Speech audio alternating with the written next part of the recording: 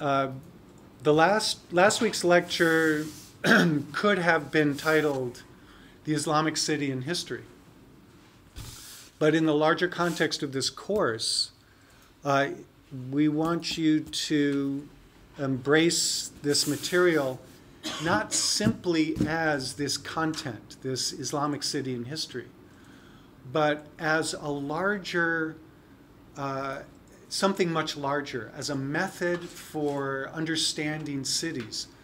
The real topic uh, that we're using, the title is The City as an Organism. And the city as an organism is a topic that is getting at this uh, issue of how the world isn't always the product of specific design intention.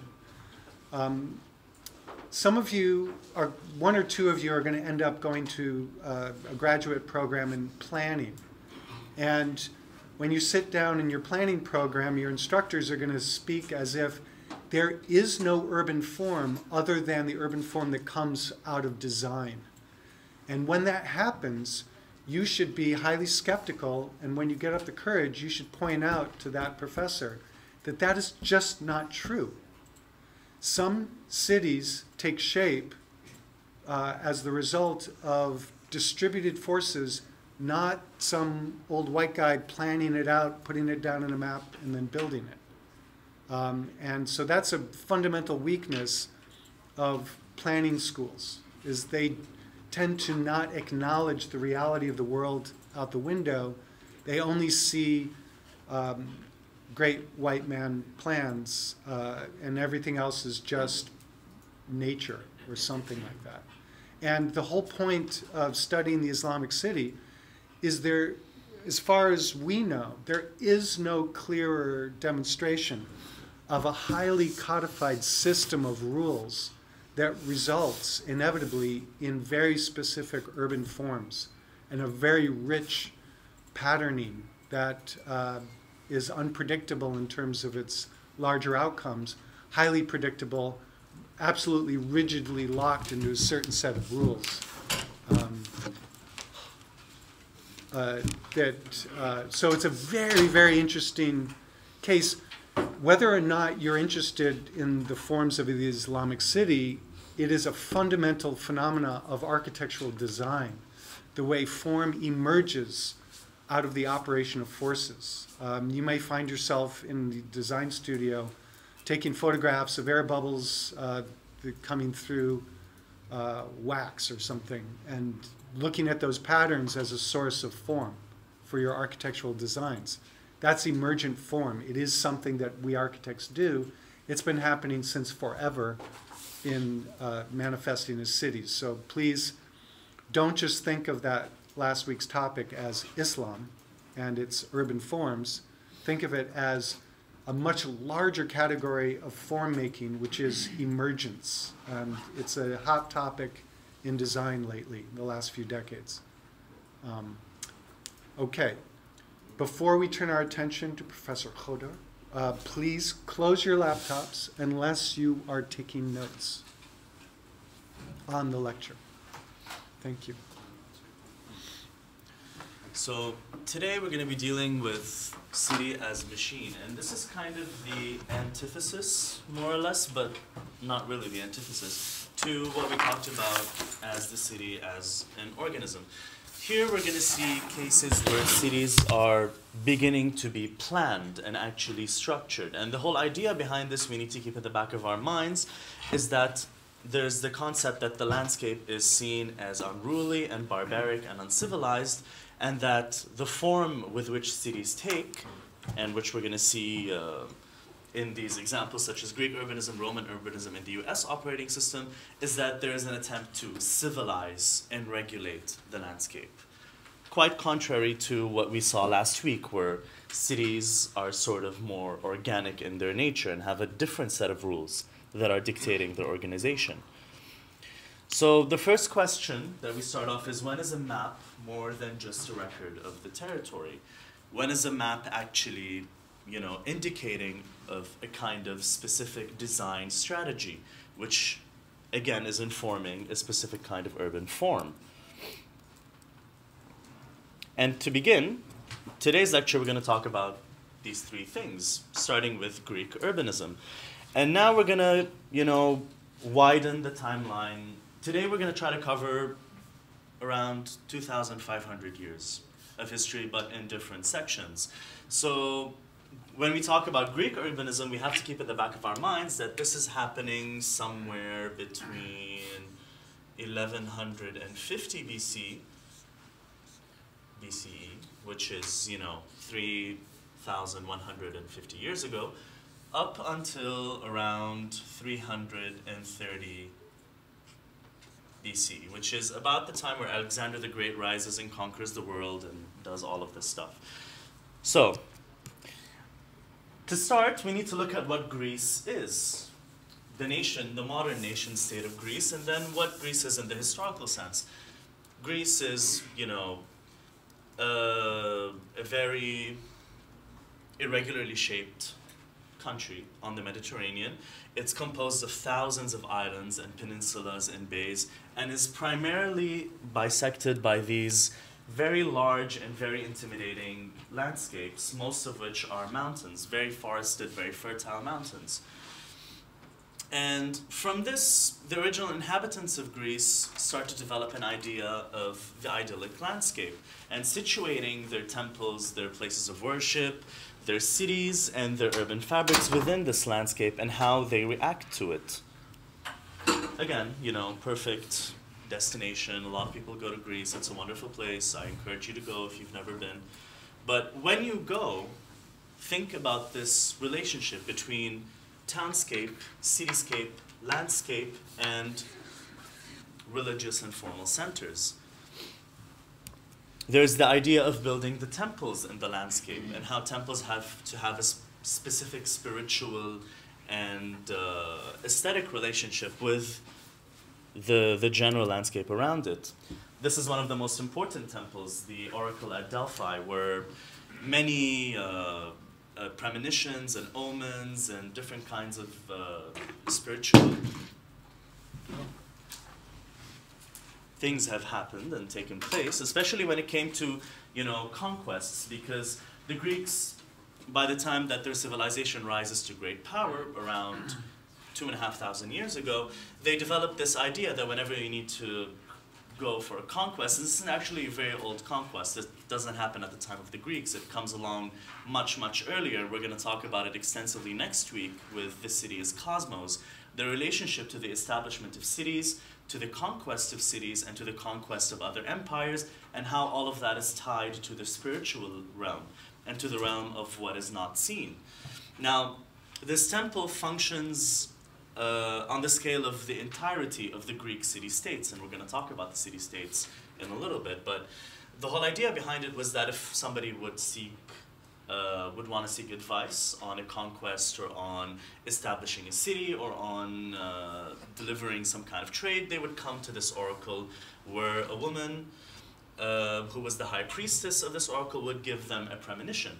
Now, as it turns out, this temple was built on top of a fissure in the land, which actually uh, exists above an underground um, water reservoir, which was seeping methane and ethylene into the temple. So, in reality, all of these hallucinations and hypnotic kinds of uh, experiences happened because the priestess herself and everybody who visited her got high because of you know the gases that were coming out of the ground. But again, you know, ancient cultures using some of the elements that they did not understand about the natural landscape around them in order to perpetuate a sense of understanding. Now, if we go to the height of Greek power, which is around 550 BC, we see that, and the Greek um, uh, civilization years are presented in blue, we can see that there's this need to establish all of these colonies along the coastline of the Mediterranean.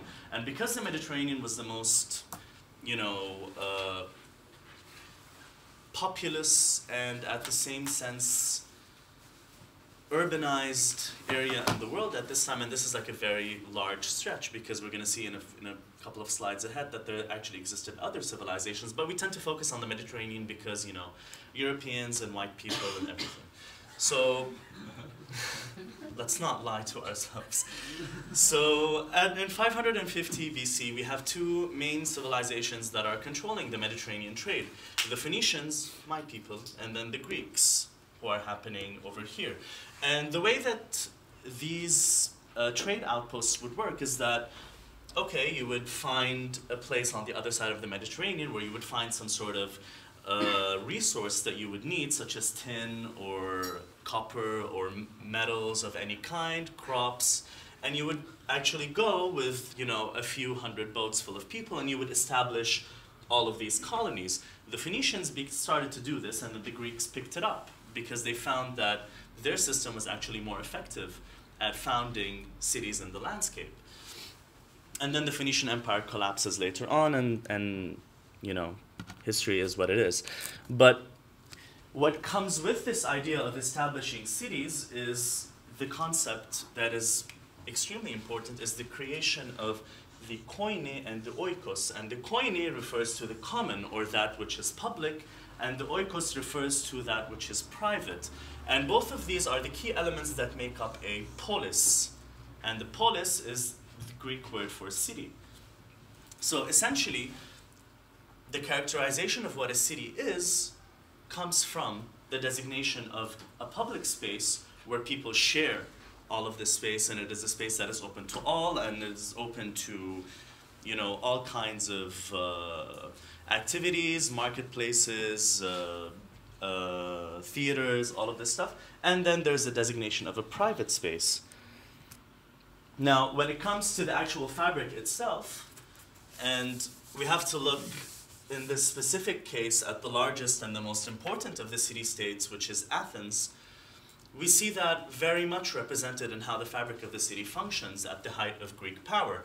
You have on the tallest hill surrounding the main city, the Acropolis, which is the main spiritual center of the city. It is where the largest temples are dedicated. It is where all the processions happen. And then directly at the foot of that Acropolis, you have the Agora.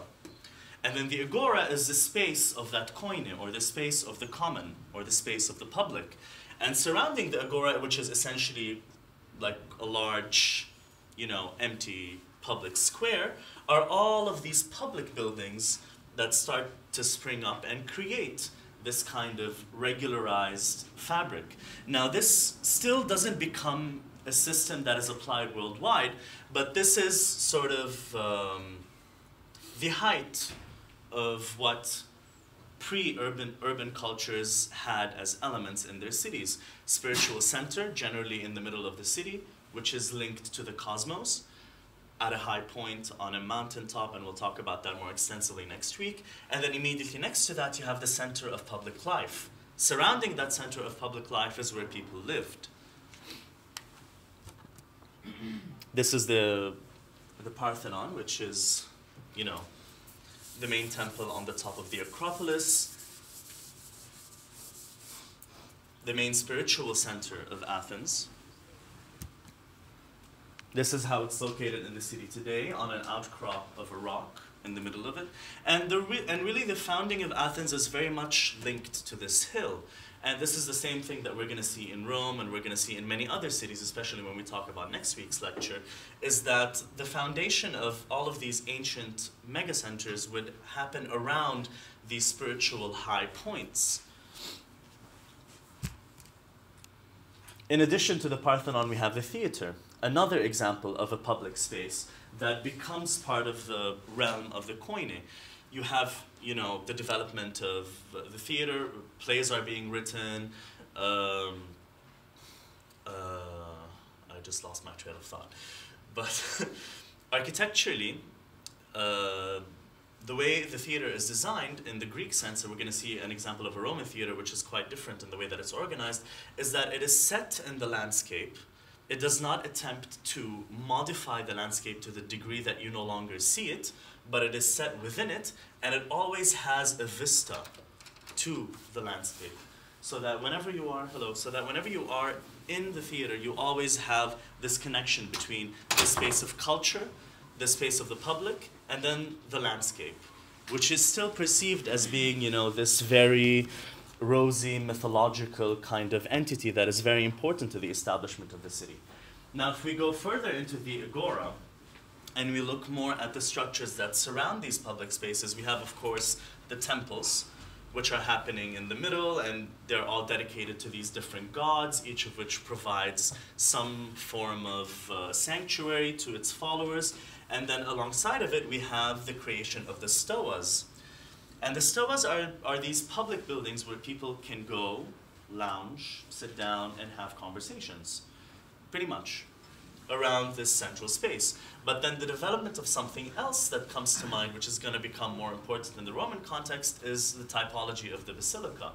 And the basilica was first imagined as, you know, this also this very large internalized space, which is very porous to the public, but is where the main debates in the city actually occurred. So people would meet at the basilica, the politicians of the city would meet at the basilica, they would talk about their, their issues, they would discuss what they needed to do, they would discuss uh, philosophy, they would discuss mathematics, they would discuss all sorts of, uh, all sorts of, you know, the talk of the time.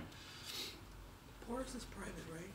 Porous is, uh, no, it's more public because it allows for, um, I'm missing the English term for it. Permeability. It's Permeability, uh, thank You know, so a screen of columns will allow people to walk through the columns, that's more porous. Yeah.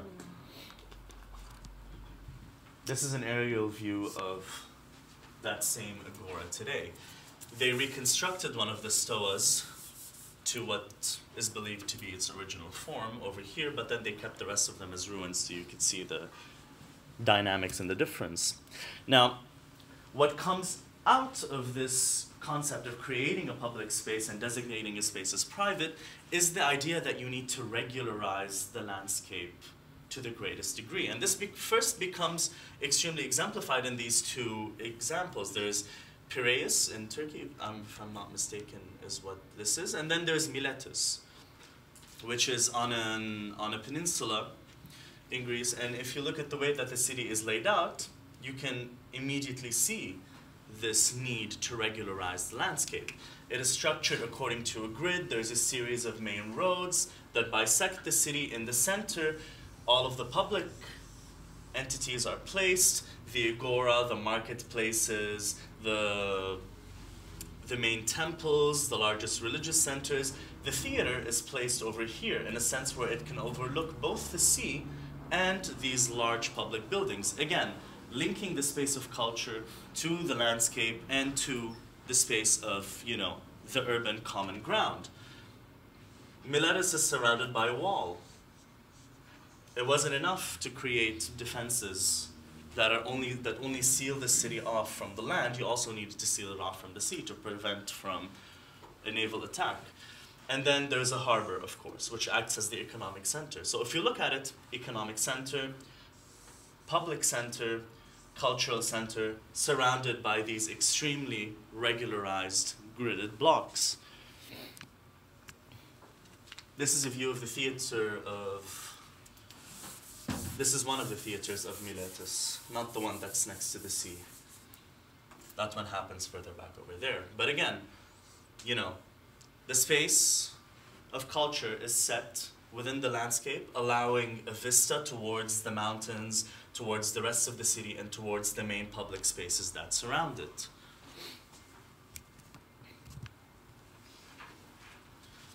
This is another city founded by the Greeks in Turkey. We had seen the colonies had started moving from the Greek islands into Asia Minor.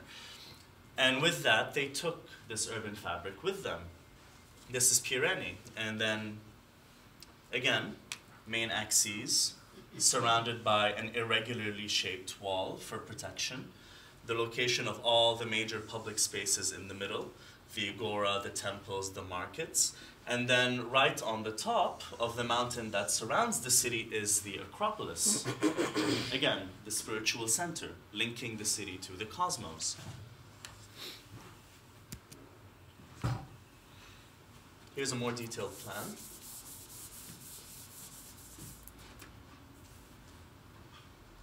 Stadium, gymnasium, markets, stoas, theaters at the base of the mountain so you can overlook the city, the public spaces, and the landscape.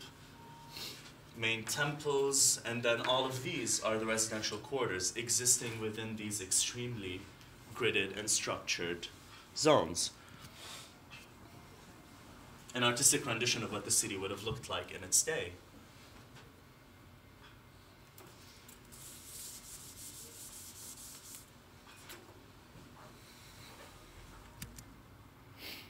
Now, we move a few hundred years later to the, to the Roman urbanism. The Greeks sort of start off this, um, I don't want to call it a policy, but this sort of uh, Practice? practice. Thank you. Yeah, I'm not, uh, the language center in my brain is not working today. The Greeks start off this practice of applying all of these very uh, regularized kind of urban forms all over the colonies that they establish. But the culture that really takes this to a totally different level is the Roman Empire. And here, you know, when we talk about the Roman Empire, we need to talk, of course, about Rome, which is the center of that empire, which was at that time, and by the time that Rome grew to become the greatness that it became, was actually a very irregularly shaped city. There was almost no planning that had gone into Rome at this point. The first instances of Roman planning happened in the Forum around 300 to 400, uh, 300 to 400 BC, up until 300 to 480. But again, we have a city that is established on seven hills. It has a very distinct kind of legend myth that comes with its establishment. We're going to talk about it next week. And then the city sort of exists in the interstitial space between the hills. The hills are designated as these holy zones, on top of which temples and large public structures are built. And this is a plan of more or less what the ancient city would have looked like with its succession of walls. At some point, Rome had seven series of walls because it grew to be one of the largest cities at the time. At the height of the Roman Empire, almost one million people lived here. So, wall number one, wall number two, wall number three. Again, the more the city expands organically, the more these walls are built to contain it. If we go into the forum, we realize that in terms of organization, it's more or less like the Greek agora. Now, of course, the, Ro the Romans develop a series of typologies that are very, very different from the Greek ones, which they apply onto the urban fabric. But these don't come as an overall design strategy. More or less, they're kinds of like islands that are plugged into the city. And you get all of these very interesting moments where, for example, along these streets where shops are located, you suddenly find yourself in the middle of a gigantic basilica or a gigantic public building, which is awkwardly positioned. Because at this time, the Romans have not yet applied a large regularizing strategy to the city itself. And in that sense, they actually couldn't because they had so much that they already needed to deal with. But the real invention that comes with Rome's urbanism, and we're going to see that in a bit, is actually how Rome applies this civilizational strategy to other cities in other contexts because of this perception that anybody that is not Roman is hence uncivilized. And this is kind of the basis of white supremacy. Mm. Just gonna throw that out there, but that, of course, comes with much, much more nuanced uh, much more nuanced issues. Now, again, we have a highly irregularly shaped urban fabric in the center of the city, surrounded by these massive public buildings, these very large basilicas, temples. You have the Colosseum, which is another kind of theater, which, gonna, which we're going to talk about in a bit. And you have also the stadiums and the gymnasiums. And the baths. The Romans developed the typology of the bath.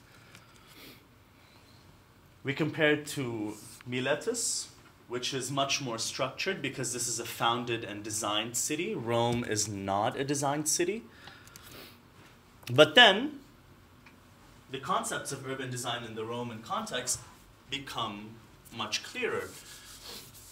From Vitruvius, we have this plan, which basically says, you know, you build a wall around the city. The interior of the city is structured along these two very main axes, the Cardo and the Decumanus.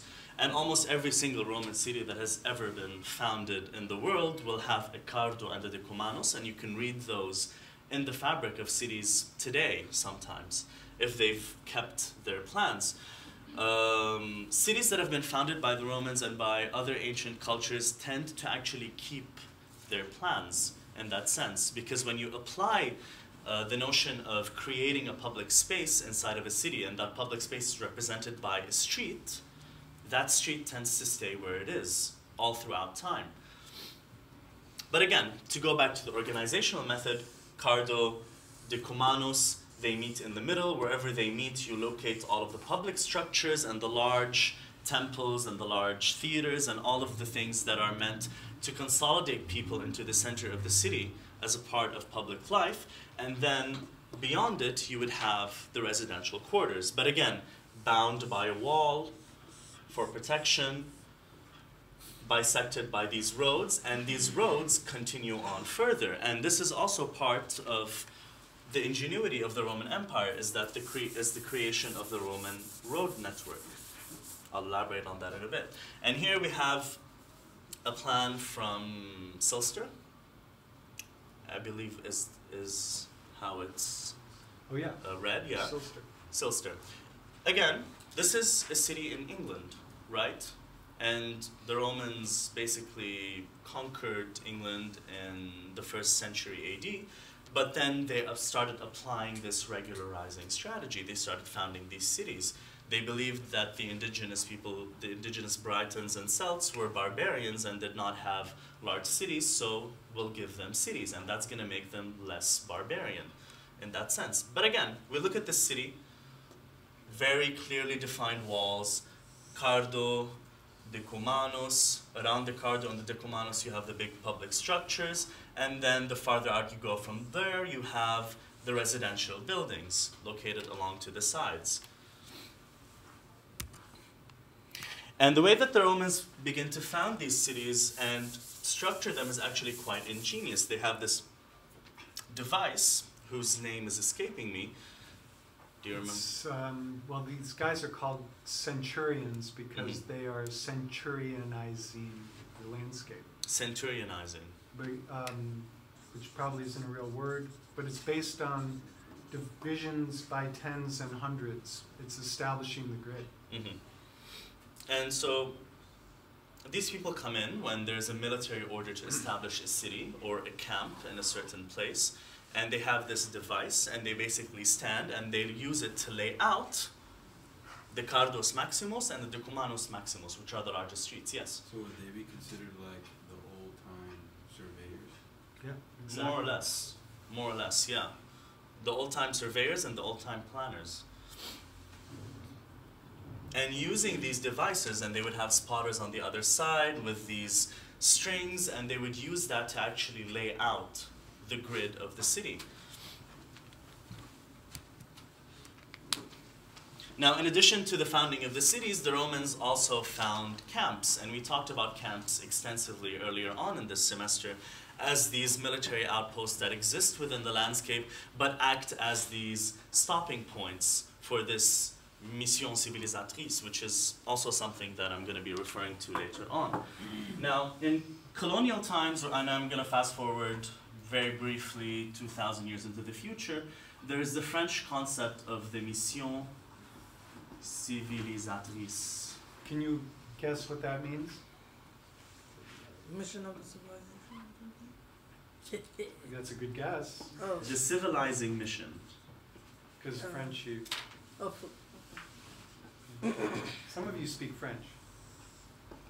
barely. so, so the civilizing mission is an idea that any fabric or group or people or even um, race or religion that is not founded upon specific principles that dictate how their lives must be structured through their presence in cities need to be civilized. And the Romans take actually pioneer this idea in, in the very beginning. The Greeks develop it earlier on by saying, okay, we need to regularize the landscape, but it is the Romans that bring this idea and they make it a very widespread phenomenon by saying, wherever we are present in the very wide and far reaches of our empire, we need to plug in these camps and these cities that follow this distinct order in order for the people that live in these cities to be considered as civilized. And in the, even in the far reaches of the Roman Empire, whenever they would happen upon a piece of land where people did not follow or did not accept this kind of urban fabric, they were immediately characterized as barbarians. And this was a plan that was implemented by force. This didn't come as part of, you know, a, a very uh, International development aid. yeah, yeah, it's not it's not like USAID or some sort of, you know, money uh, uh, money in economic injection into a city. This happened out of military conquest, and the need to create these axes and these very specific city forms was all about military conquest. It was all about saying, here, this is Rome, this is civilization, this is how we live. And if you don't follow this living plan, then you are not Roman, you are not civilized. Now, the Romans were expert engineers, and when it came down to the details of how they structured their urban fabrics, they pioneered several very important elements that we still use today the creation of sidewalks, the creation of crosswalks, because uh, the idea was that in a Roman city, the space that would flood during heavy rain was actually the streets. So you had an elevated walkway on either side, which eventually becomes the sidewalk, and then the crosswalk would actually be also an elevated series of rocks for people to walk across. They developed sewage systems in order to move uh, sewage from the homes, from the streets, rainwater outside of the cities. This is an example, I believe this is in Pompeii. Looks like Pompeii. They developed aqueducts to ship water from the landscape into the city. Massive, massive structures that bisected the landscape, bisected cityscapes, all to bring water from the tops of the mountain or from the wells down to the cities, which were generally located in the valleys. Mills and more aqueducts. And then finally, the roads. And this is one of the most important things that we're going to talk about because it not only filters in Roman urbanism, but the development of the road and the development of transportation is actually something that we're going to touch upon when we get to Chicago later on in this lecture. You've all heard the phrase, all roads lead to Rome, right? There's a very specific reason why that phrase exists. Alongside the civilizing mission, which saw the establishment of hundreds and hundreds of cities throughout Europe and the Mediterranean world, there came this idea that all of these cities needed to be linked with a certain kind of transportation device, and that device was the road. So they built this massive road network that spanned what is known as the Old World and really connected every single major urban center directly to the city of Rome. Now, this is, you know, to widen the perspective, we have the Roman civilization happening here, but then on the other side of the world, you have many other different kinds of civilizations that are more or less doing the same thing, but in different configurations. And there's trade between these different um, systems. So there's a Chinese system uh, that is spreading across the continent of Asia. Uh, there's an Indian system, a Persian system, uh, and these systems were in touch with each other through trade networks. Mhm. Up until Rome declared war on the Persian Empire, but that happens. but that happens later. But then again, trade war. They put a tariff on their steel. No. real. Well, now they do, but Just connecting to the present day. but again, you had the old Silk Road, and what was the old Silk Road doing? It was moving all sorts of trade from the Far East through Central Asia, through primarily Constantinople, all the way to Rome. Those were the two main connections China and its massive cities, and Rome. Silk became all the rage and uh, to the point where the religions had to admonish people not to wear silk because it was too revealing of the human form. The things people do for God. Yeah. Uh, so, um, now we're going to look at Rome itself very briefly. We can see the aqueducts over here bringing water from the tops of the hills right to the center of the city. You have the space of theater or the space of uh, entertainment, which is the Colosseum. You have the stadiums, which are also spaces of entertainment. And you have all of these massive temple complexes and large public buildings that exist square in the center of the city. And all of these are happening between these large spiritual hills, right? There's the Palatine Hill over there, then there's the Capitol Hill somewhere down here, but, and then there's this hill. But again, more or less, the same kind of organization as the Greeks, but this is this only exists in Rome itself. What's this slide? Okay. Can you guys see this, or is it too horrible of quality?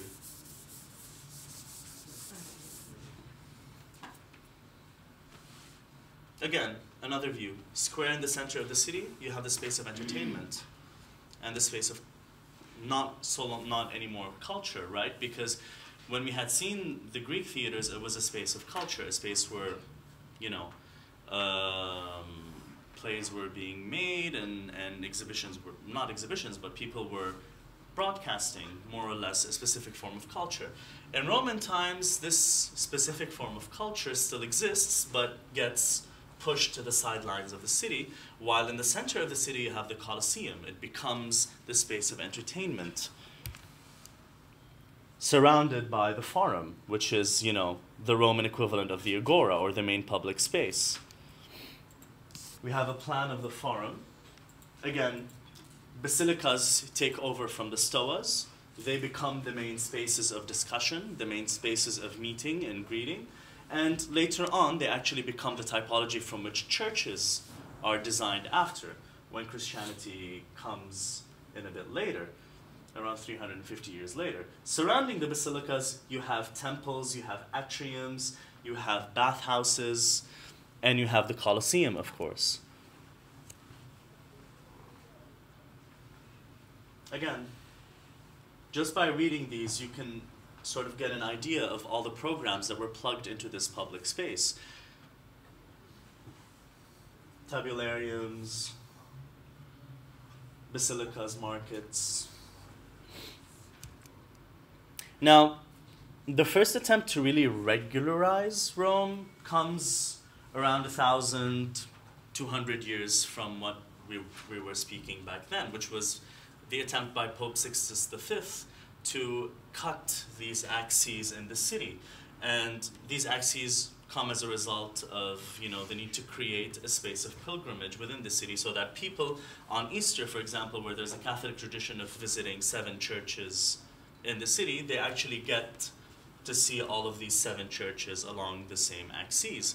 And the whole idea was consolidating these main landmarks within one single urban form using the diagonal as that agency of that form. So we have, you know, Piazza del Popolo being connected to Santa Maria Maggiore, which is somewhere over here, being connected to the Forum, which is here, being connected to all of these different elements that are making up the ancient religious fabric of Rome. And this is the first, probably the first large scale attempt to create these axes in the city of Rome itself. The Colosseum, smack in the center of the city, the space of entertainment. And the development of the Greek theater typology by completely removing the landscape. We had seen in the Greek examples that this wall didn't exist. The theaters were set in the landscape. There was a specific relationship between what could be seen and what could be experienced. In the Roman case, this is completely removed because theaters are, you know, now expected to be turned a into themselves. And then there's the creation of the theater facade, where the where there's you know a backstage and there's um, a designing of all of uh, the performances that actually happen here in accordance with this facade. So the segregation of the landscape from the cultural space, and then the closing off of that cultural space from the public space.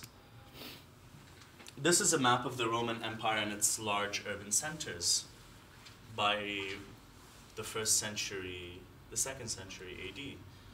You can see it's a massive empire. It spans almost all of the civilized world by then, but then it's called the civilized world because it's part of the Roman Empire. And because the Romans are planting all of these cities and camps and urban centers everywhere. And wherever they arrive to contexts such as the Middle East and such as Greece, where these urban centers had already existed, then the Romans initiated a restructuring of these urban fabrics by, again, creating a cardo, a decumanus, localizing large public structures around them, and then encasing all of these within a fortified wall. Now, one of the most um, illustrious examples of a Roman city is Timgad, which is located in present day Algeria. You can tell by this artistic rendition, which probably has very little to do with what the city actually looked like, but we like to tell ourselves that these are accurate representations.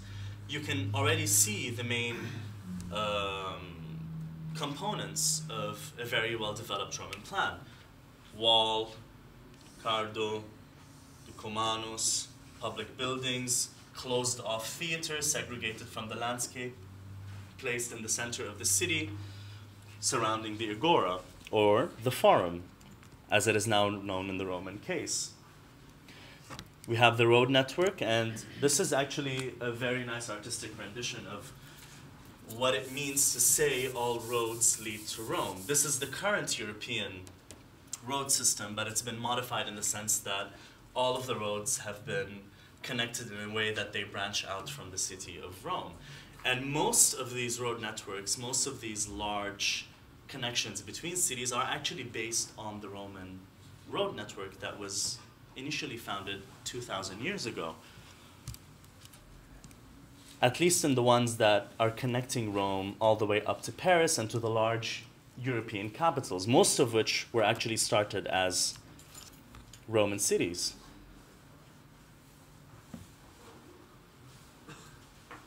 So this is a video of how Rome first consolidated power and grew.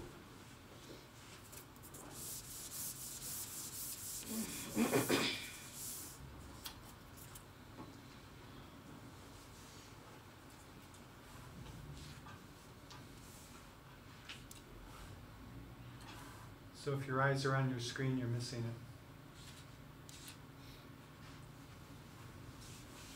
it. With this expansion that happens very quickly, it happens over a space of two to three hundred years, there is this entire strategy that comes with it building the roads, building the bridges, building the aqueducts, and with those, building of the cities, which initially start as camps but then grow depending on their designation. And this is the height of the Roman Empire. After this, it collapses further on, and it becomes split, and then, you know, that's the end of Rome as we know it, at least in the ancient sense. And specifically in Britain, and I want to pause this video here, and no. Is there no way for me to forward this? I don't know. It doesn't seem like it.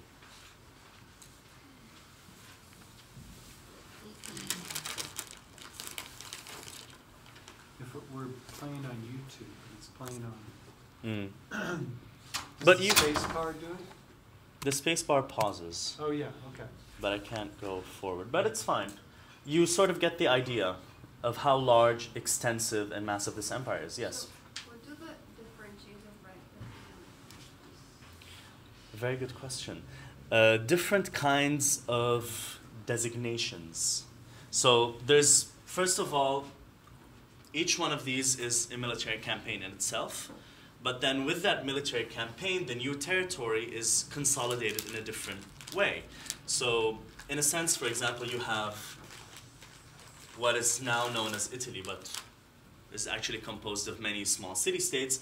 That was consolidated pretty early, so that had a very specific kind of organizational strategy. When they start expanding into the Balkans and into Croatia and Serbia and Montenegro and Bosnia, which is this campaign, which was sponsored primarily by Diocletian, one of the Roman emperors, um, it becomes designated differently, right? It becomes a colony of Rome rather than being part of the Italian homeland, which is Rome, right? This becomes another colony of Rome, which is the Alps. Southern France or Gaul becomes another colony of Rome. And then all of these regions, depending on how they're conquered and how they're consolidated into the Roman Empire, become different colonies and provinces. And then within these provinces, certain cities are chosen and designated as colonia, or the main large cities of each colony. And then from there, these become the cities that receive most of the infrastructural upgrades, most of the funding, most of the, you know, the construction of the roads and the big temples and all of that, because they're expected to keep the peace and to keep this civilizational mission over the lands within which they preside. In the case of um, Croatia, Bosnia, and Serbia, that city was split, which is over here. In the case of Spain, that city was Barcelona, right? These became the main urban centers. In the case of North Africa, that used to be the city of Carthage, which was destroyed by Rome. And really it was that campaign when Rome destroyed Carthage that actually allowed the Roman Empire to reach the extents that it did at that time.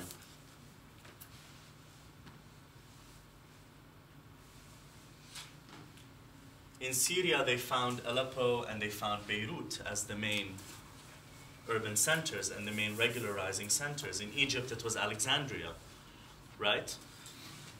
Each of these colors designates a province. Each of these provinces is ruled by a city, and that city sort of controls everything that happens And keeps the wealth flowing. and keeps keeps the wealth and the trade flowing back to Rome. Now, when they conquer Britain, eventually they get all f- so far up Scotland, and the Scots give them such a hard time because the Scots are not the kind of people that just accept somebody ruling over them. That they actually begin to build walls. So they build. There's an there's an un- Hadrian's Wall. Hadrian's Wall is down here somewhere, but there's another one that's farther up north that was built by the Romans first because they really perceived the people living here as barbarians. They're like, we don't want anything to do with these people, so we're just going to build a wall and have them stay there. Kind of like what Trump is doing today, if you think about it. But, you know, with, with the same kind of racist undertones in that sense. And, um, but yeah, London, Gloucester, all of these cities were actually founded as Roman camps. Another region which they just did not bother to conquer was Germany because they could not get past the forest and all the people that lived in the forest. And so, you know, the German conquest ends abruptly. And they're like, you know what, these people are barbarians, they live in the forests, they live in the mountains, we don't want anything to do with them, so we're just not gonna deal with them. Hmm, there you go. That's, yeah. That's Hadrian's Wall. Great place for a walking tour between Glasgow and Edinburgh. Mark just did that last summer.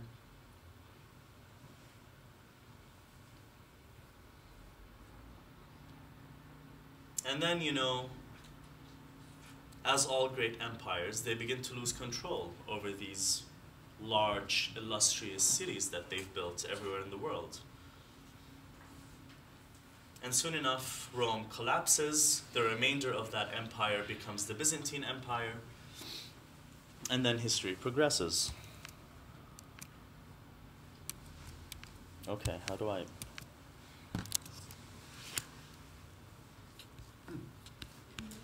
Sorry about that.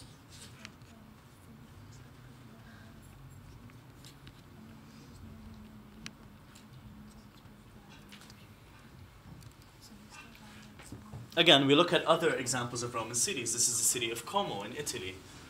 Wall, Cardo, Decumanus, main public structures located along it. Here we can see the Duomo or the cathedral in the middle. A plan of Timgad, again, very clear organizational strategy. The plan versus the photo. hmm Florence. And who can come up to the board and outline to me what the Roman city of Florence is? Jackie? No? Try.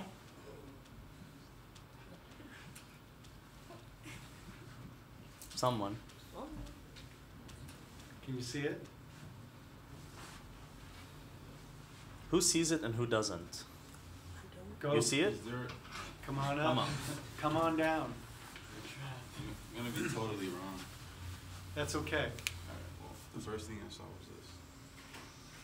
Okay. What's the second thing you see? Um, I see this like center grid. Go okay. ahead.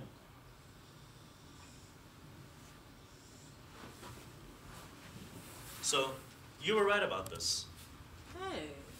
This is the ancient Roman Yay. city of Florence. Okay, what's the next wall? Let's get the next contestant up here. Oh, okay. So there's a series of four or five walls, four walls. It goes on forever. Yeah. Go ahead, Jackie. Okay. By the way, you're allowed to get this wrong. That's part of learning. Is this the next Uh huh. one? Look at. Keep, keep going. Where are you gonna Is it draw? this, is it in here or here? Whichever one. Take it. If you're gonna defend this town, I would say yeah. Oh yeah. at. Let's see how she did. Survey says She's right. bingo. see how isn't isn't this cool? Okay, who's next?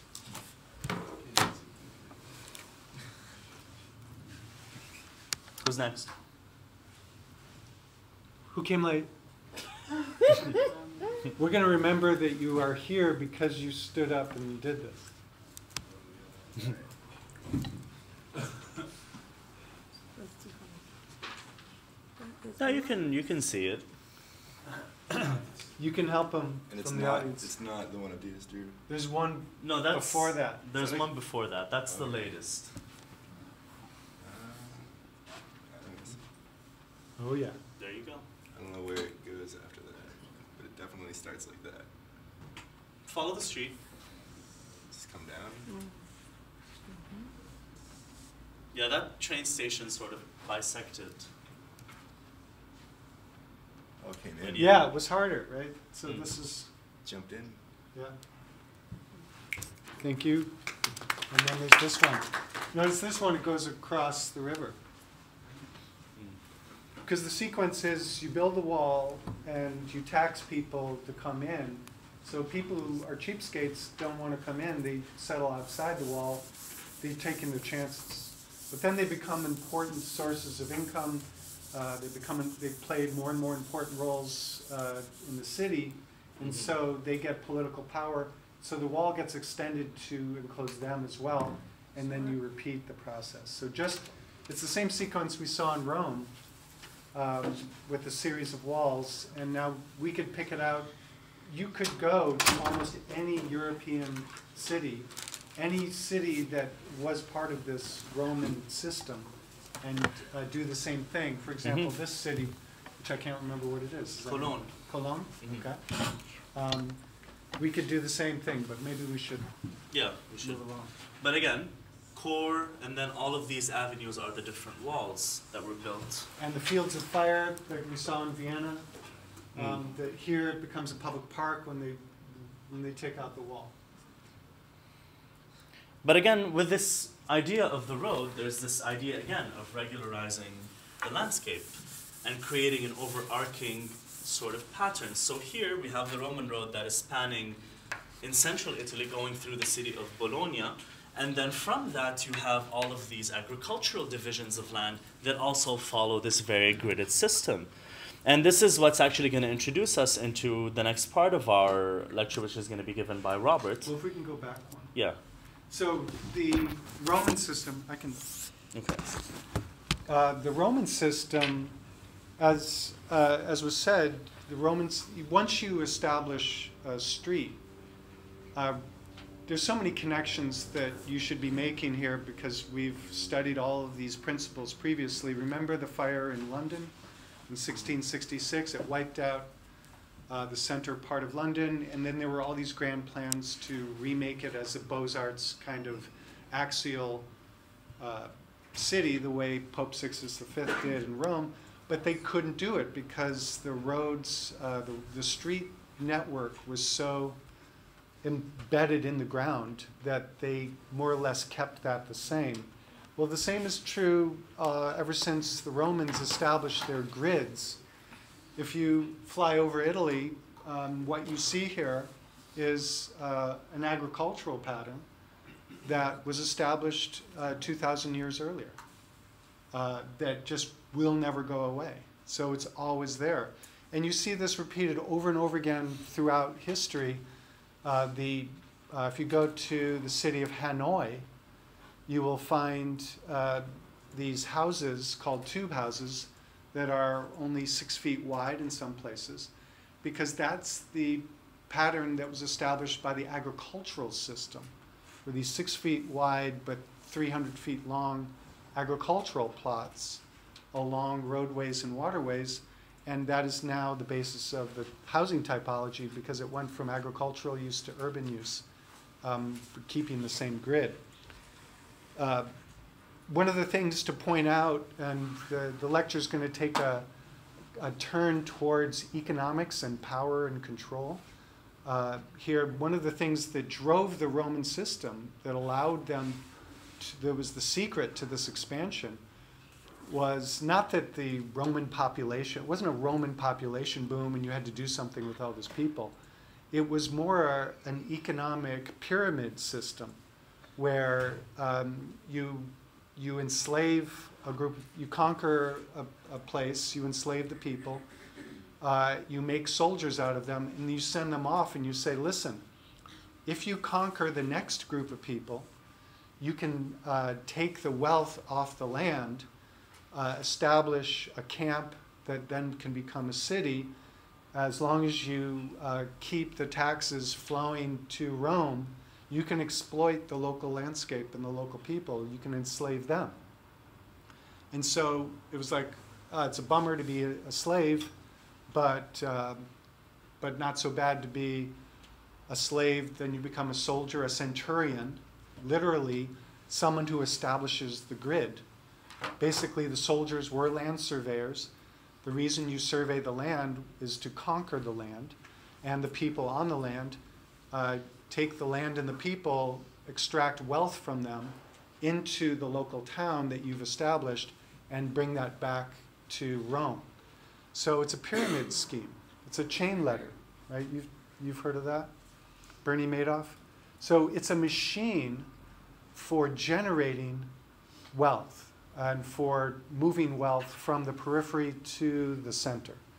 And uh, the grid is a system that works very well to do that. And we saw, so what we're seeing is we're seeing the Phoenicians and the Greeks establishing a system of colonies uh, that were connected by water to their capitals as a way to trade. Uh, but then uh, that worked so well, the Romans take it up they establish these gridded towns, uh, but the grid doesn't stop at the town wall. The grid continues beyond the town wall. And this became an extremely powerful system for extending um, power. Uh, and part of the, just to get back to this point, well, I guess it can be made here. Part of the uh, power of this is that um, these local communities that were being visited by the, the Roman troops uh, were clearly not organized enough to assert themselves on the landscape. And so the, the Roman grid was not just uh, this machine for exploitation, but it was also this spiritual, uh, civil, civilizational demonstration of power. Uh, before the Romans show up, our village was subject to the forces of nature. We followed our, our pathways and our, uh, our constructions, our architecture followed the forces of nature and, uh, and deferred to the forces of nature. But once the Romans come, they say, nature, smature. I'm not sure how that translates into whatever languages they were speaking, but uh, they were basically saying, we are Rome, we are civilized, we are a force to be reckoned with. We don't defer to the forces of nature, we impose our system and we conquer nature and we conquer the peoples. And it was a clear demonstration of power.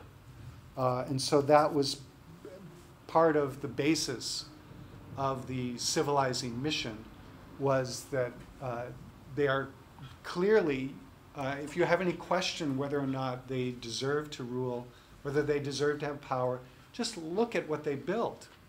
It's a very clear demonstration of their authority and their right to wield power. And one of the connections you could make at this point is back to the very first lecture when we were looking at Medellin, Colombia, and Mayor Sergio Fajardo, where uh, he was using the library parks to demonstrate how serious he was about social transformation, uh, to bring up the most impoverished citizens. It was an architectural demonstration of power. We're still looking at architectural demonstrations of power. Um, and this happened when we get to North America. So it's, uh, if you look at this slide, you see the aerial photograph and then you see the grid system of the map. And this carefully crafted slide shows you the same thing. You see Los Angeles, which in a way begins out like Athens. There's an Acropolis, which we saw in the LA school, where Frank Gehry's concert hall is. It's at the top of the Acropolis in Los Angeles. They start out like Rome with this extremely localized uh, uh, adjustment for the forces of nature. But then on top of it, the um, 1796 Jeffersonian land uh, ordinance system is imposed on top of it. And so you get the grid of Los Angeles uh, that has to be reconciled with the city of Los Angeles prior to the establishment of the grid. And that grid goes back all the way across the continent uh, in the view that is familiar from anyone who's flown over the United States. And so we saw this before. Uh, we see um, the Manhattan grid uh, established um, very early on, long before, and it's a similar situation where the earliest Dutch settlement uh, at the tip of Manhattan suddenly gets has to be reconciled with this more standardized grid that uh, conquers the rest of the island, uh, smoothing out the bumps and the gullies uh, with cut and fill, and uh, uh, making it safe for land uh, commodification. So you could buy a piece of land anywhere on this grid, a piece of property, because it was the same as any other. You wouldn't have to go visit it. You could be in an office downtown and say, I have a lot for sale here. It's 25 feet by 100 feet. You don't even have to say that because everyone knows how big a lot is in New York. It's 25 feet by 100 feet. Um, and every lot is the same as every other lot.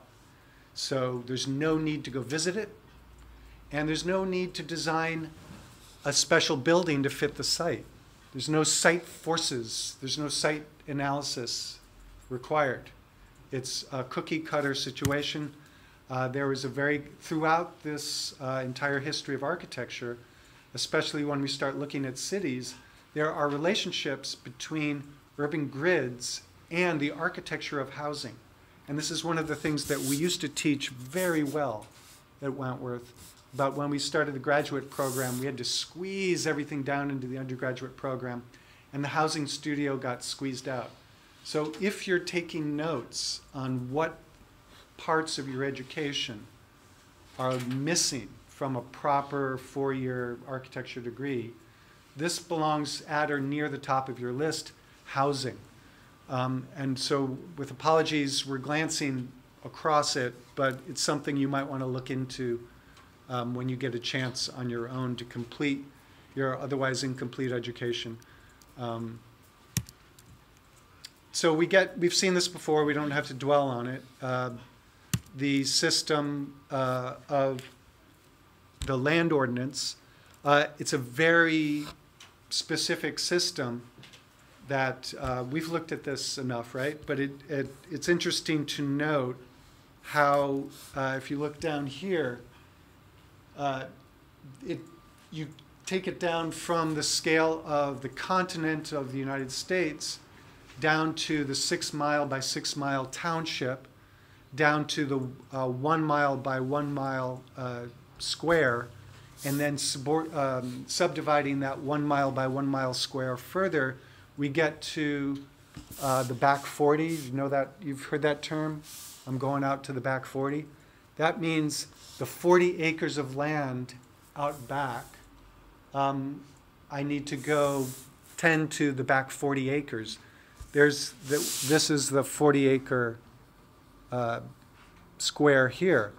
And it goes all the way down to a block where you start to develop housing prototypes, housing types that fit well into the squares that are the American landscape beyond the Appalachian Mountains. And so um, you'll see these images that Ali has collected, um, just showing the different ways that architects and developers have reconciled housing typologies with these squares that are produced by the land ordinance system of the US continent.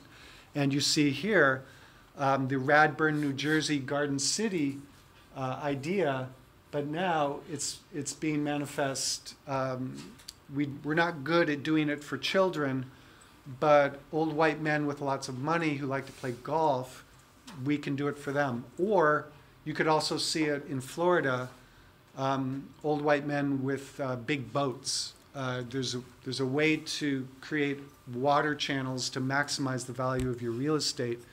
Uh, I need a car out front and a boat out back. And so uh, Florida real estate is really good at satisfying that market demand using a fractal geometry strategy that comes straight out of Radburn, New Jersey, the Garden City that we looked at before.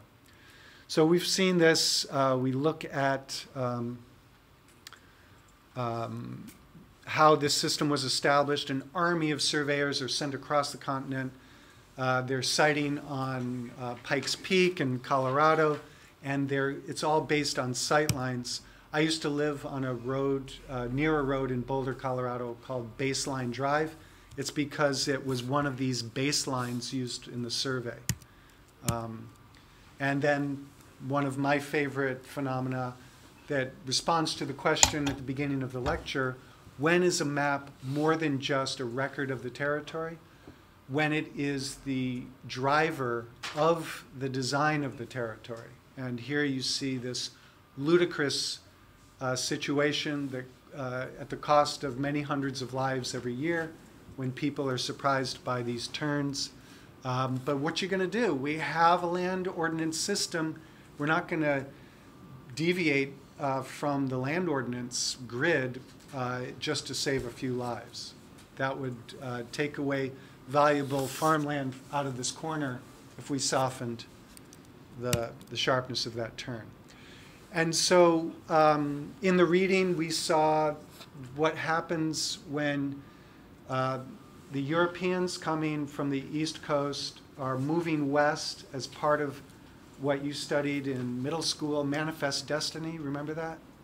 Um, it is our white European destiny to conquer this entire continent from sea to shining sea. And um, the only thing in the way is distance itself.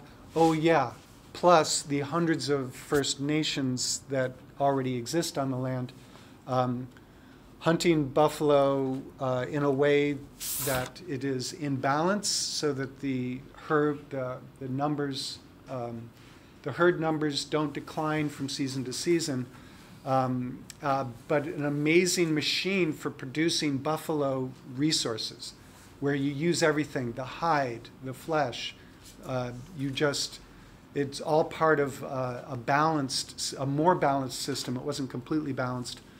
Um, for example, they would drive the buffalo off a cliff to kill them all, um, but that was highly unsustainable. Could I borrow your power?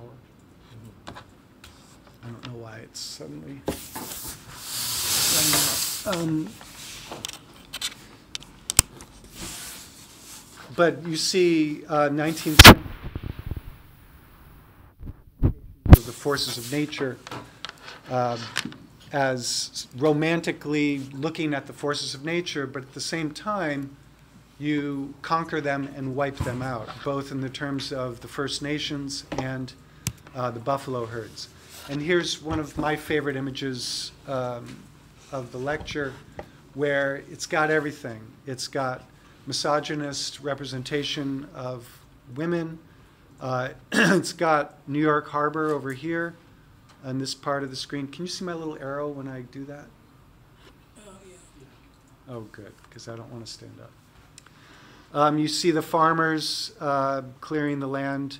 Uh, you see the goddess Athena carrying civilization in the form of the book. Um, her garments are about to slip away. Um, the telegraph cables are being strung across the continent along the railway lines. The stagecoach um, is coming behind the, uh, the frontier covered wagons. These pioneers heading across the landscape, ready to conquer it with pickaxe and shovel, driving back the savages. Uh, the darkness on the left is not a mistake. Um, it's very, the light from the east is moving across to the west. There's no question about which way north is in this image. Uh, the savages are being driven. You can even see San Francisco Bay over here. Um, it's just a, a remarkable encapsulation of the powerful attitudes of the age of the 19th century that the, represents these forces that drove uh, these, the, this transformation of the North American landscape. Um, it was a hunting uh, and gathering kind of, or hunting and tra- a fur trapping economy that then became uh, a lumber economy. Uh, lumber was needed for the fences. Um, the civilizing mission uh, was seen here with the bringing of the Wurlitzer organ uh, for the church uh, in the new settlement territories. Lumber was in extremely short supply, so some of the uh, buildings were built out of sod, so earth structures. Um, now, here's uh, one of the really great points of the reading, uh, the Cronon uh, reading of Nature's Metropolis, is he makes the point that if we were looking at the natural transportation uh, opportunities of the expansion across the continent, we'd be looking at St. Louis as the import, most important node of transportation because that's where the confluence of the um, Ohio and Mississippi rivers, uh, which would give you water access throughout the continent. And you will recall, we talked about the physics of water. Remember that? Uh, water is a fantastic way to transport goods because uh, how could you use the least amount of energy to transport a ton of something very heavy like lumber or wheat or coal or meat, as, as we see later in, the, in this? Um, you float it on the water. It, uh, the, a ton of wheat will go on a barge and sink the barge until one ton of water is displaced. And then it'll stop sinking. And then you could move that with one mule. So the most efficient way to overcome the friction of distance is by water. And so the Erie Canal becomes something that the investors of New York and Boston on the East Coast uh, they, they win this battle. They create the Erie Canal at great expense to create a water linkage from the Hudson River to the Great Lakes. And using the Great Lakes to float heavy materials, they get uh, to Chicago. So the reason uh, the Erie Canal, the reason Chicago wins the battle for supremacy over St. Louis is because the investors in New York City said, we need, we need New York City to be, to be the center of, of flow of goods from the West, not Baltimore, not Philadelphia, uh, not these southern East Coast ports. We need New York to be it. And so, um, using a system of locks where they raise boats uh, in small increments, uh, they go across the New, the Empire State of New York. Em- New York becomes the Empire State because of the empire built, uh, not unlike the Roman operating system. Uh, the canal operating system establishes all these towns across upstate New York Utica, Rochester, uh, Syracuse, one after another, um, Buff- uh, leading to Buffalo. You may not have even heard of Buffalo, but at one time it was destined to be the second largest state, uh, city in the United States because it was where the Erie Canal connected with the Great Lakes. Here we see the barges loaded up. Uh, as much as you want. It will carry as much tonnage, and still one or two mules will pull all that weight down the paths. So, a remarkable system. Um, why Chicago? Uh, Cronon goes on at length uh, on the parts of the book that uh, were not part of your reading to say that um, uh, it's easy to forget the question of why Chicago because when you look back at things in history, it seems like, well, of course, George W. Bush was president of the United States. It was inevitable that he was going to win that election. Of course, uh, Napoleon was defeated uh, in the Battle of Waterloo. Of course. Well, in the rearview mirror, history takes on a sense of inevitability. But at the moment, there was, it was highly unlikely that uh, George W. Bush was going to be president. It was just a judge in Florida that made the difference. It was highly unlikely that Donald Trump was ever going to be president. It was a few very localized forces that turned that outcome around. And similarly with Chicago. We think of these things, maybe Trump election is something you experienced yourselves um, as being highly unlikely. Chicago was similarly highly unlikely. Should have been St. Louis. Everybody knew it should have been St. Louis. But because of the intervention, uh, the meddling, some would say, of the New York investors, uh, this tiny little stagnant creek on the southwest corner of Lake Michigan became the site of the most important urban system, the node, the most important node in this vast urban system uh, that is uh, the machine for harvesting the wealth of the Midwest through Chicago, through uh, the, the port cities of the East Coast. And so um, we look at Chicago 19, uh, 1835, and these land speculators put a grid down and they said, Want to buy some land? And they weren't saying it to people who were in Chicago, they were saying it to people who were in Boston, New York, Philadelphia. They were selling land in Chicago to investors on the East Coast, and the only way they were able to do that is because of the grid. Because every parcel, every block is identical to every other parcel, every other block.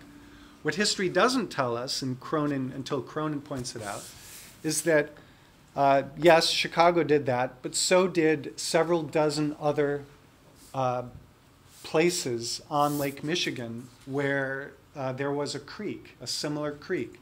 So all up and down the coast, uh, the west coast of Lake Michigan, there were towns saying we're going to be the hub of commerce uh, through the west, and people bought land in all of these towns uh, while people were buying land in the town of Chicago. Now, at this point, there's lots of connections to be made to other things we've talked about. One of the benefits of teaching the course backwards is you can say, oh yeah, Dubai. What's the um, value of land in Dubai? Well, it depends on um, the story that you're telling. So this is um, a very quick uh, unit on land economics. The basic theory of land economics is that the closer you are to the center of the city, the more valuable the land is, because that's the population center.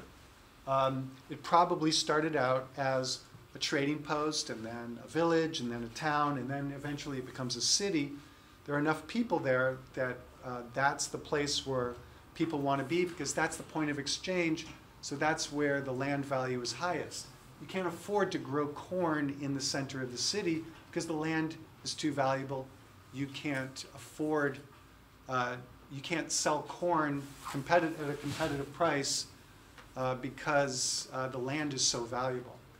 And so to find the place where you grow corn, you have to go out and find a place where the commodity value of a bushel of corn will allow you to grow corn on cheap enough land to, to be profitable. And so you go out to here.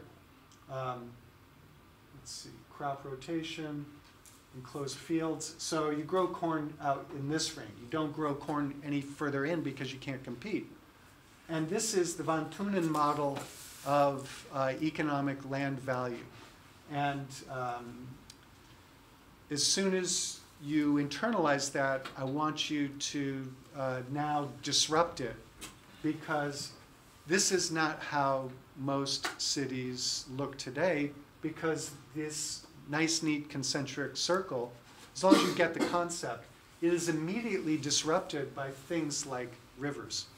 Because you have transportation, all of a sudden, it's not a point, it becomes a line. And so the city, uh, the place of high value, becomes this place of transportation. So every piece of transportation infrastructure al- it alters and distorts the nice, neat concentric rings of this land economic model. Um, and we see that at play at this separate thing. You can look at this at the scale of a city. You can also look at it at the scale of the United States, where if the assumption here, it's too small to read, but the assumption here is that New York City is not just the largest market for everything, it's the only market. So if New York City is the only market for buying and selling things, then you can afford to grow vegetables uh, in this ring, but no further, because you have to, they have to stay fresh. Um, you can get a certain price, and it has to stay fresh. So that's where you grow vegetables. Here's the dairy ring. Here's the cotton and tobacco ring. Here's the um, corn and soybean ring. Here's the wheat ring, beef cattle, and then forest. But this immediately, this nice, neat concentric circle economic arrangement of this model is immediately distorted by climate. So if you can't do, if you, as soon as you start to take into consideration topography and climate, this, the nice, neat pattern here gets disrupted.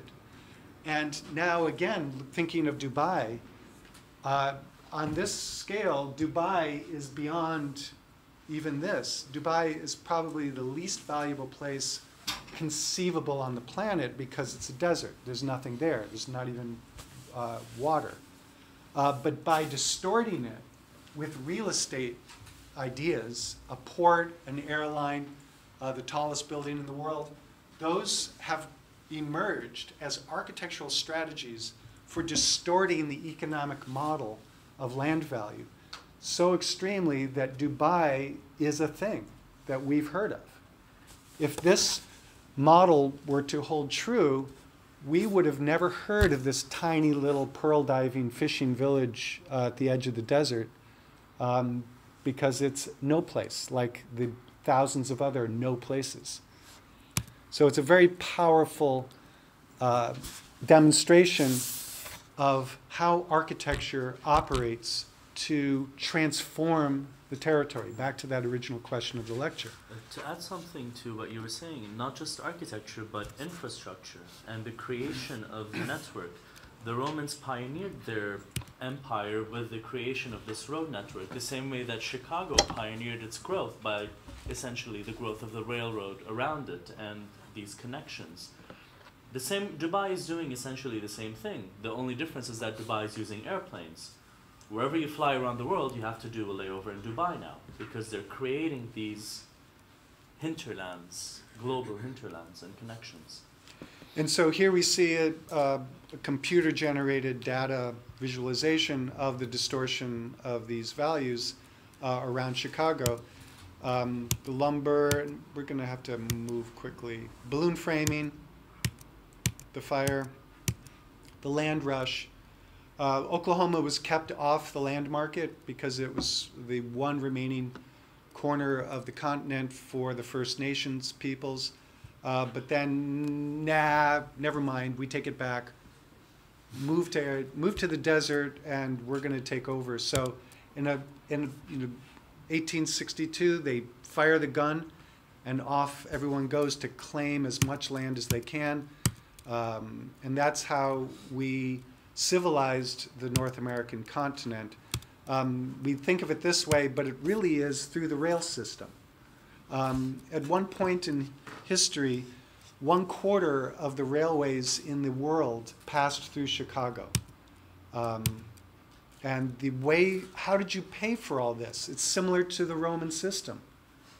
Uh, the, uh, I'm not sure they realized they were repeating what the Romans did, but the US government granted all the land uh, along the railway routes uh, for uh, several, I don't know, is that 50 miles?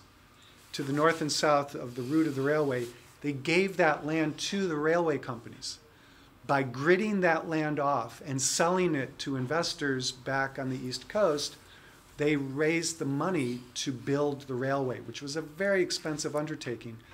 But it more than paid for itself because as soon as you take away this land from the First Nations and you uh, parcelize it and you build towns and you put a railway nearby, all of a sudden that land is connected with a global market passing through Chicago.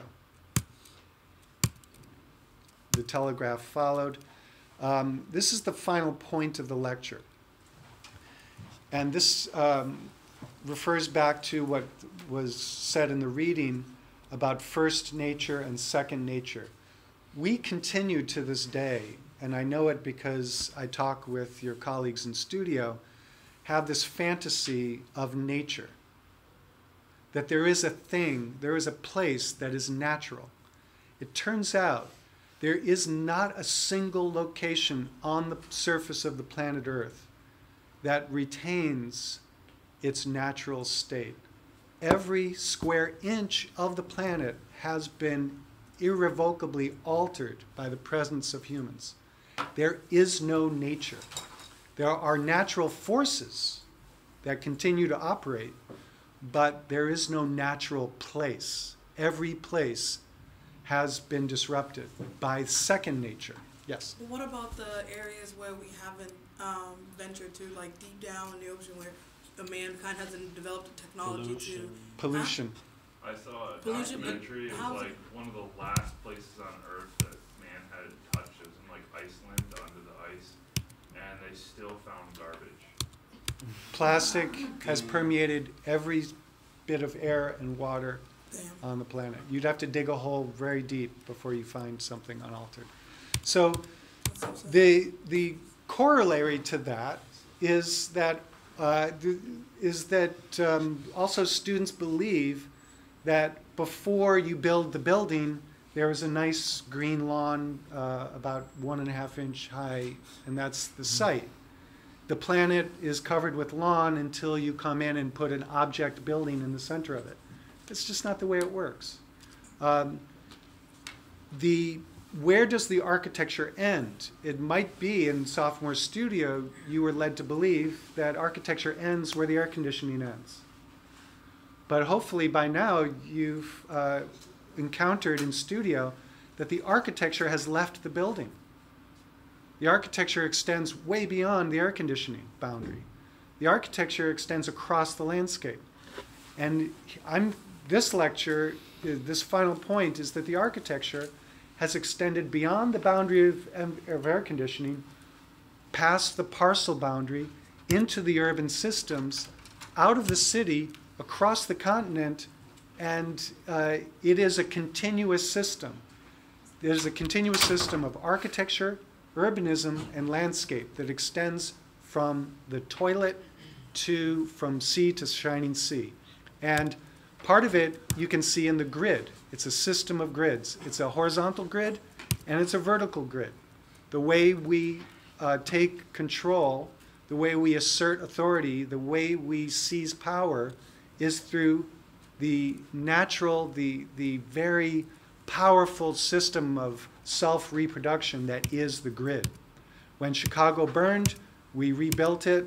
Um, and to understand the city as it is, uh, is to understand this strategy, this architectural strategy of self reproduction that is inherent in the grid.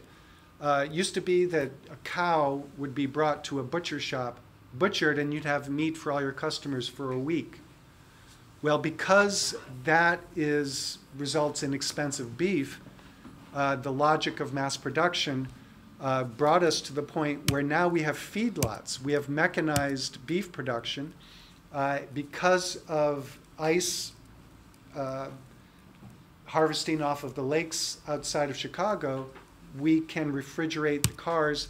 We created uh, a grid of uh, meat production that resulted in this massive architectural intervention of the Union stockyards in Chicago. It was too expensive to march the cows to Chicago because the cows would lose their weight. They would lose weight. And so the cowboy cattle drives went away. Instead, we put the cattle on railroad cars because the, the value of the meat weight that they would lose on the march to Chicago is greater than the cost of the coal to burn to get those cattle using fossil fuels. And so we start shipping, we drive the cattle to uh, the different towns that have railway uh, terminals. We put the cows in cars, we bring them to Chicago, and we slaughter them. We even use the weight of the animal to power the factory. So we, the, the pig would march to the top of the slaughterhouse, get hoisted on the wheel, um, and so the input for the energy is uh, from the animal calorie. You, you invest a little bit of that calorie value in getting the pig to the top floor of the building. You hang it from the wheel, you slit its throat. The weight of the animal, the dead animal or dying animal, drives the machinery, and um, then you civilize the whole thing with an architectural gate, becomes one of the greatest uh, tourist destinations after the uh, World Columbian Exposition of 1893, which we saw in a previous lecture. The Union Stockyards is a much, uh, it's a, it's a must see, a must smell, uh, horrific grid of meat production. Um, and that's all we have time for. Questions? Oh, we have 10 minutes, plenty of time. Um, so the point here is um, really these last three lectures uh, the city as an organism, the city as a machine, and the city as a cosmos are a way to reflect back on everything else we've talked about in this course, from Medellin to Dubai to uh, your experiences here in Boston to the automobile to the Garden City, Radiant City, uh, the City Beautiful movement. All of these things are resonating through these last three lectures. That everything we see in urban form uh, through your analysis projects falls, uh, falls in one of the working theories of the course is everything you're looking at in cities falls into more or less these three categories. Things that emerge as the outcome of these large forces, uh, like we saw exemplified by the uh, operating system, the Islamic operating system, has a certain set of rules and practices that generate a very specific set of relationships that you can read in the patterns of urban formation that prior to this understanding, you would have thought as complete chaos, like the informal settlements. By the way, the informal settlements themselves, we have several thesis students right now decoding the chaos that is the informal settlements and identifying operating rules of the informal settlement operating system of Latin America. It's a very interesting process, a very direct extension of what we're doing in this course. Um, similarly, you see in this lecture how the grid throughout history has uh, provided an extremely powerful strategy, an architectural strategy for self reproduction of systems of control. That uh, the Greeks and the Phoenicians did it, the Romans did it. Uh, we could uh, teach a whole course on just this theme and go into the hundreds of other distinct uh, social, historical, civilizi- civilizing mission type operations. Colonialism was a giant system of gridding, as we saw when we talked about Amsterdam and Batavia. Um, it is an extremely powerful strategy for extending and as self producing a self reproducing system. So we're looking at architectural forces uh, as a system. We're taking a systems approach to an understanding of the forces of the world and how architecture is produces all these strategies and formal methods for uh, extending the power of these strategies for either good or evil. Um, so that's, and the last one is going to be next week, where we look at spiritual religious forces from the earliest uh, urban formations and how they operate uh, through architectural strategies at every scale, from the scale of a room uh, to the scale of large regional landscapes. Questions? Connections. Do you, do you see connections from this theme back to other things that we talked about in the course? Uh, anyone want to contest the notion that there is no more nature? There's only natural forces. There may be lots of natural forces still operating, um, some that are destined to reduce the population of multiple species, including humans, um, but there is no more nature.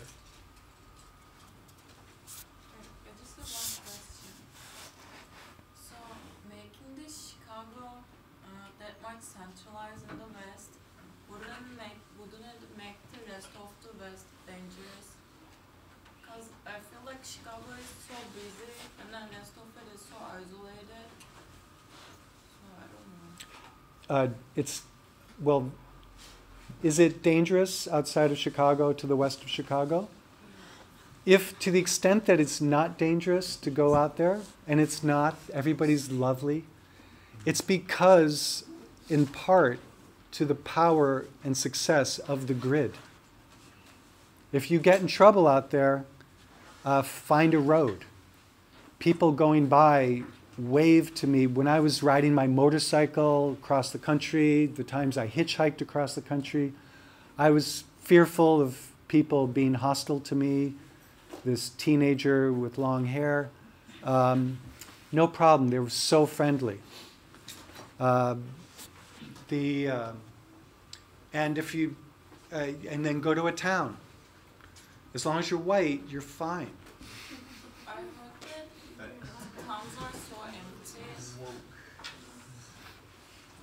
Towns, towns are empty. It's a very, it's a very scary feeling. But uh, when you start talking to people, even if you're not white, once you start talking to people, uh, it's uh, you can reach them.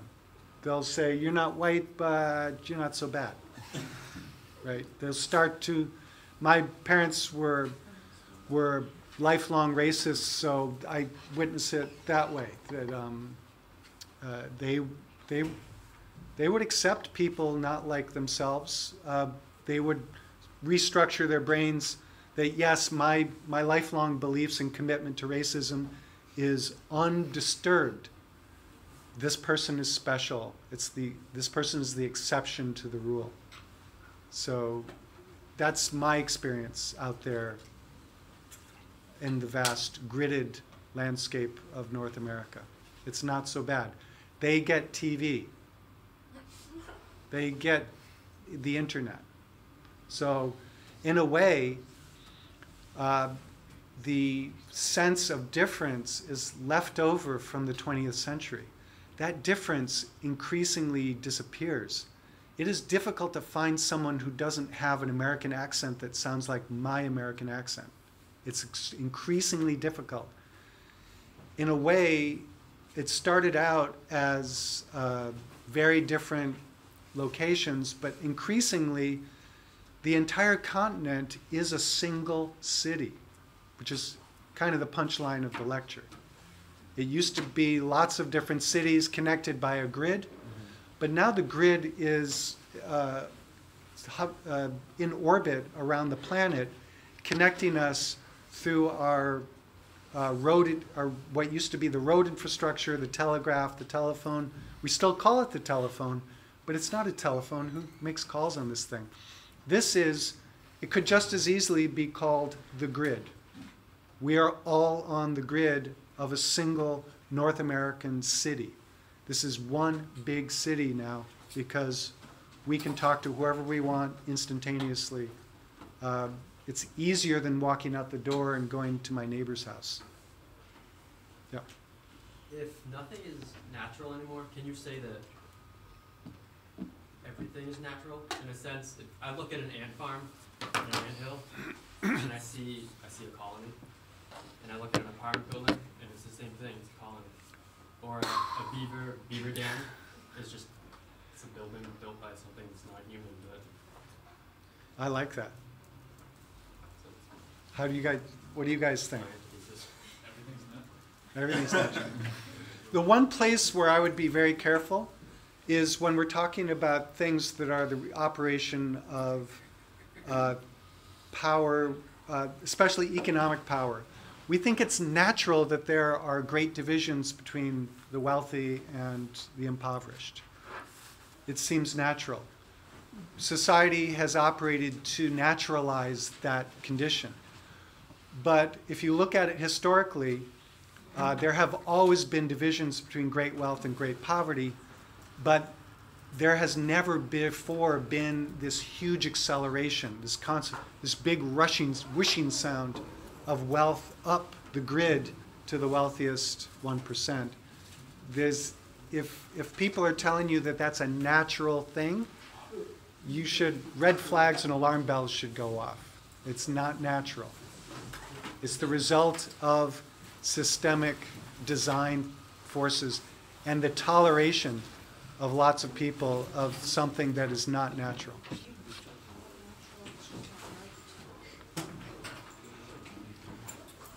Okay? So come talk to us to set up a meeting time. If your group has submitted uh, a draft version of